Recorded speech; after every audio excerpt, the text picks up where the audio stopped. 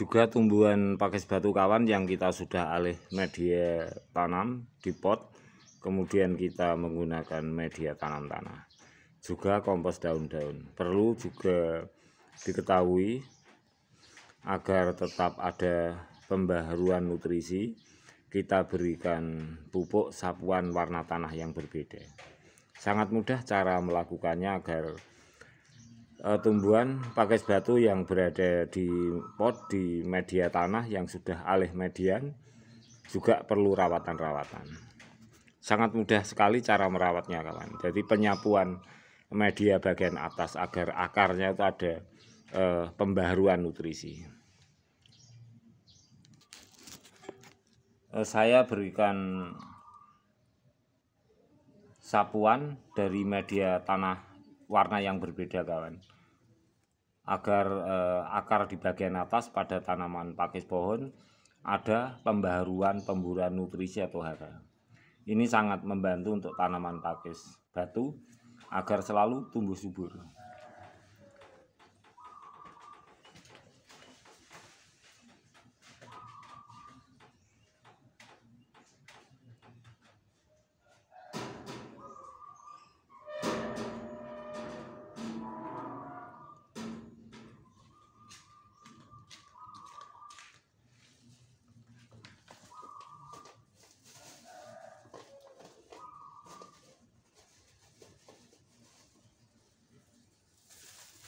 Nah ini sahabatku kita cukup lakukan seperti ini.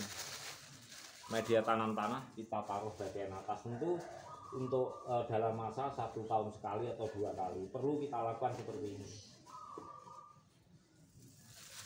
Ada pembaharuan nutrisi dari media ta tanam atau tanah warna yang berbeda.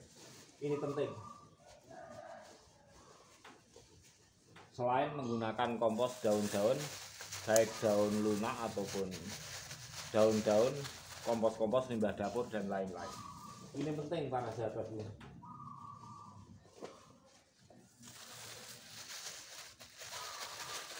tidak terlalu banyak nggak apa-apa.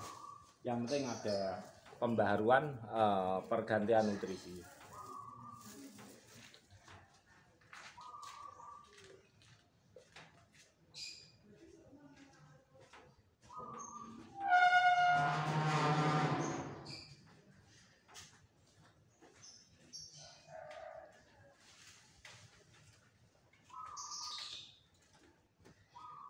untuk selanjutnya kawan kita lakukan uh, penyiraman air.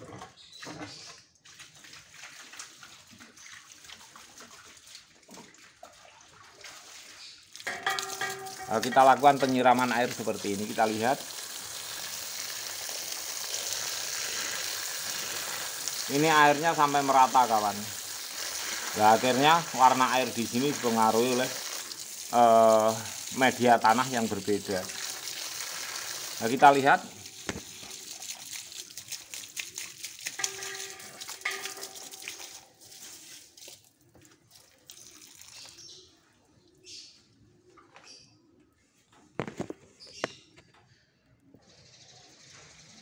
Oh, kita lihat sama-sama yuk. Kita boleh lewat seperti ini. Kita lewati lah seperti ini.